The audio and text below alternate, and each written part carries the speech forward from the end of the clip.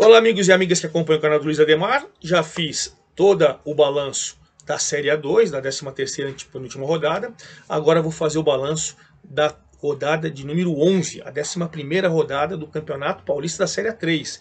Essa é a terceira divisão, também assim como a segunda, com 16 clubes, turno único, 15 jogos, terminou, os oito primeiros colocados garantem classificação para a segunda fase e os dois últimos são rebaixados para a quarta divisão, que a Federação Paulista de Futebol chama de Segundona Sub-23. Pois bem, temos novidades. Um novo líder. O São José ultrapassou o comercial e assumiu a liderança da competição. São José do meu amigo Edson Vieira. Outro grande trabalho do Edson Vieira, que já subiu com São Bento e tal. Grandes trabalhos do Edson Vieira pelo interior de São Paulo. O comercial do, do Gustavo Marciano empatou em casa, agora é vice-líder. Outra decisão interessante dentro do G8. O bandeirante do Paulinho McLaren saiu do G8, do oitava para a nona colocação. E quem entrou pela primeira vez foi a Matonense, hein? E espetacular, depois que mandou embora o Marcos Campanholo, trocou pelo Kleber Gaúcho, o Matonense começou a subir, subir, subir, subir, e olha, agora é a oitava colocada, a surpresa dentro do G8. Então temos um novo líder no G8, temos a Matonense tirando o Bandeirantes, só lá embaixo na zona do rebaixamento, ainda temos o Olímpia e o Nacional, que não conseguem reagir. Faltam só quatro rodadas para a gente terminar a competição. Ainda você tem 12 pontos em disputa. Dá até para eles brigarem lá em cima no G8. Nacional é mais difícil, né? Tem cinco pontos e tal. De qualquer maneira, rodada por rodada eles não conseguem subir. Bom, vamos debater essa 11 rodada. Antes, eu quero convidá-los, faça sua inscrição aí no canal do Luiz Ademar, ative o sininho, vai lá, tem vários vídeos da 1, da 2, da 3, de clubes, enfim, e dê sua opinião, dê o seu like, seu joinha lá, e a gente vai bater nesse papo. Bom, vamos começar com essa primeira rodada, falando então dessa troca de liderança. O comercial ele jogou em casa, jogou em Ribeirão Preto com o Votuporanguense. O Votuporanguense ele começou bem em competição, dentro do G8, do G8, do G8, do G8. De repente o time começou a cair, demitindo o técnico é, Thiago Oliveira, e aí assumiu o Rodrigo Cabral, que é técnico lá mesmo, ó, aqueles auxiliares permanentes. E aí tá dando umas recuperadas e tal. E o Votuporanguense fez 1 a 0 com o Marlon lá em Ribeirão Preto, aos 10 do segundo tempo. E o Wendel foi fazer o, o, o, gol do comercial. Inclusive o Wendel é o vice-artilheiro da 3 agora com 6 gols. Com 7 está o João Gabriel da Matonense. E o Wendel salvou, empatou o jogo e tal. Mas com esse pontinho, com 21 pontos, o comercial caiu para a segunda colocação porque o São José, jogando em casa contra o Capivariano, que também está dentro do G8, São José suou de virada, mas ganhou por 3 a 2 O São José começou é, é, com 1x0 com gol contra do James, 1x0 jogando em casa diante da sua torcida.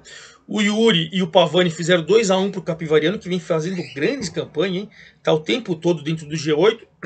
E depois o São José com, com o Wellington no início do segundo tempo e o Pedrinho numa bike, uma bicicleta muito bonito, é, muito bonita aos 17 do segundo tempo, numa jogada que veio toda trabalhada do meio campo. Toque, toque, toque, toque, toque. Daí mano, ele meteu no peito dentro da área e virou e fez o terceiro gol.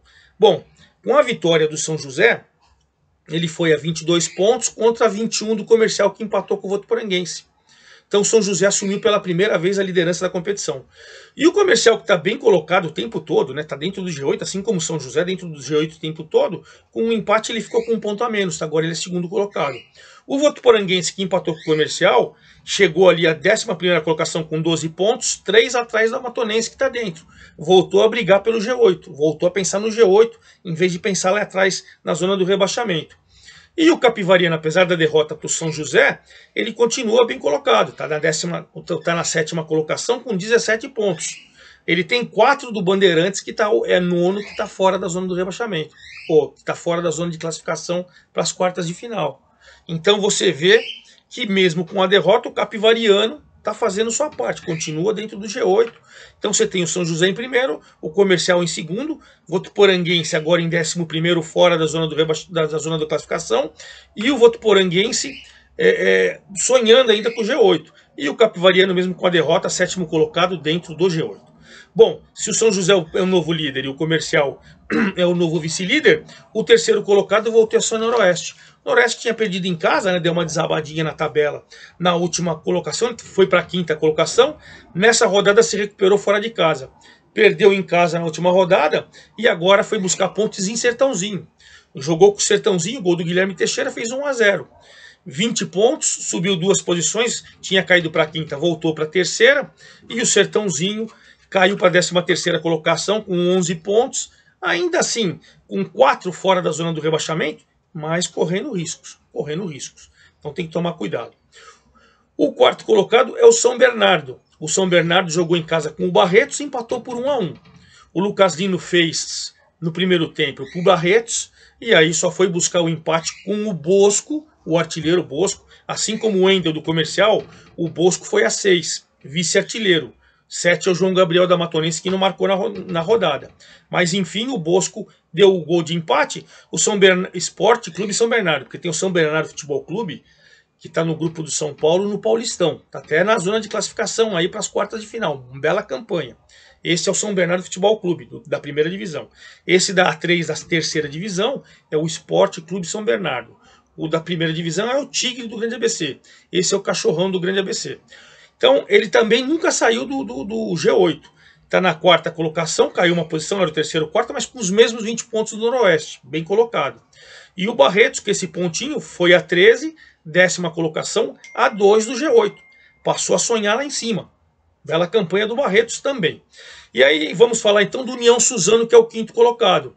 O União Suzano, que vem fazendo um campeonato tranquilo também, ganhou dentro de casa 2 a 0 do Rio Preto, gols do Serafim e do Ícoro.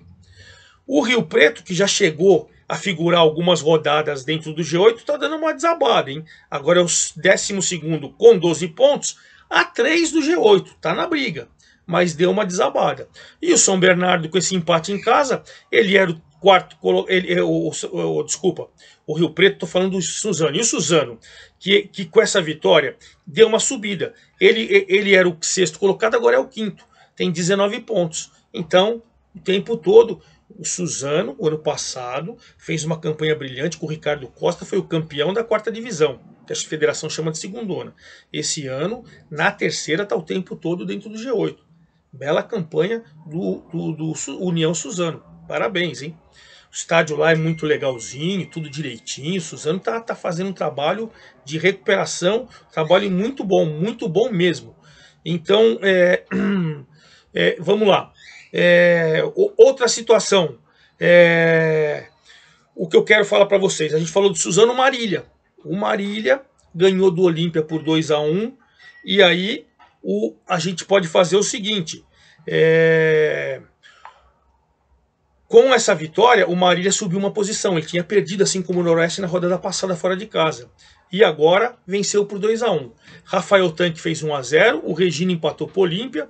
E aí na reta final, aos 37 do segundo tempo, o Márcio Maranhão de cabeça fez 2 a 1 Moral da história, o Marília subiu, também com o Guilherme, o Guilherme chegou, era o Betão Alcântara o treinador, não gostaram do trabalho, apesar de estar dentro do G8. O Guilherme chegou, continua fazendo um bom trabalho. Marília segue sempre dentro do G8 e agora subiu uma posição para sexta colocado. Já o Olímpia continua na zona do rebaixamento, 15 com sétimo, já está a 3 do Desportivo Brasil. Começa a ficar um pouco mais complicado, embora faltam quatro rodadas. Mas não dá para você perder de vista essa situação, né? Porque campeonato muito equilibrado, é difícil você galgar assim duas, três posições é, em, em, quatro rodadas, mas sempre há esperança. Então vamos lá, o Capivariano já falei que tinha perdido e caiu para a 17 e a Matonense, né? Que é, que a novidade é, dentro do G8 ao vencer o Lanterninha Nacional aqui na capital. 1 a 0 gol do Otávio logo no primeiro minuto de jogo. Nacional martelou, martelou. Que campanha nacional. Que campanha, cinco pontos, uma vitória só em 11 jogos. Lanterna, quase tempo todo de lanterna de zona de rebaixamento. Vergonhoso. Continua ali e olha, já está cinco pontos. Cinco. Ou seja, o Desportivo Brasil, que é o primeiro fora da zona de rebaixamento, tem 10. Você tem quatro rodadas, são 12 pontos. Você está a 5. Então você vê que a situação do Nacional é meio realmente perigosa. E para Matonense, sensacional, é o novo integrante do G8. Por quê?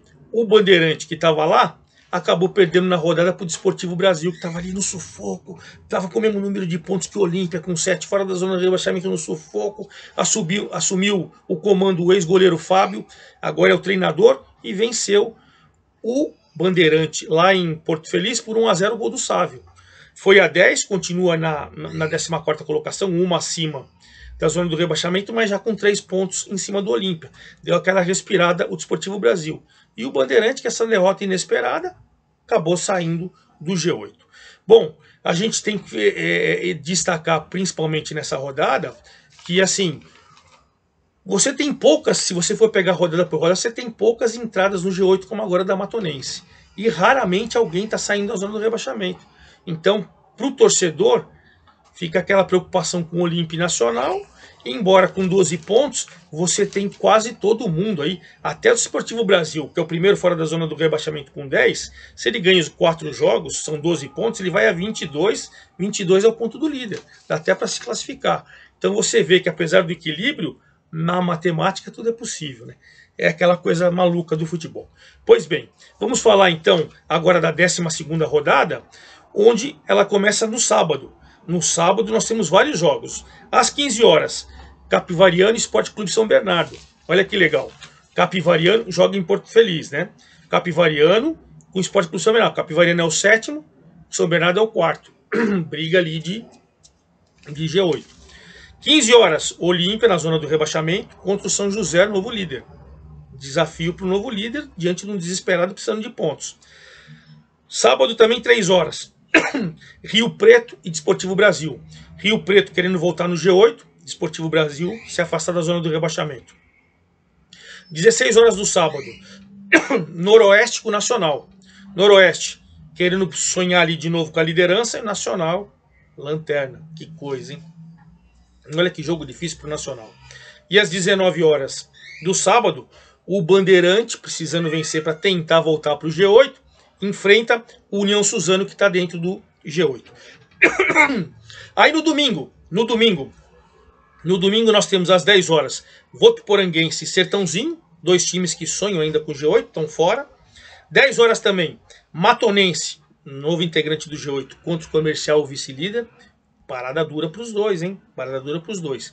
E a gente finaliza a 12 rodada no domingo, 16 horas, quando o Barretos enfrenta o Marília. O Barretos tem 13 pontos, o Marília tem 18. Se o Barretos vencer, de repente ele pode até virar essa rodada dentro do G8. E o Marília, se vencer, cola lá em cima no, no pessoal que está sonhando em se aproximar do líder São José. É isso aí. Eu volto ou no domingo à noite ou na segunda-feira com todo o boletim da 12 rodada da Série A3. Só recapitulando rapidamente, São José primeiro, 22, Comercial segundo, 21, Noroeste terceiro 20, Esporte Clube São Bernardo quarto 20, União Suzano quinto 19, Marília sexto 18, Capivariano é, sétimo 17 e a novo integrante matonense oitavo colocado com 15 pontos. É isso aí, forte abraço a todos e até a próxima.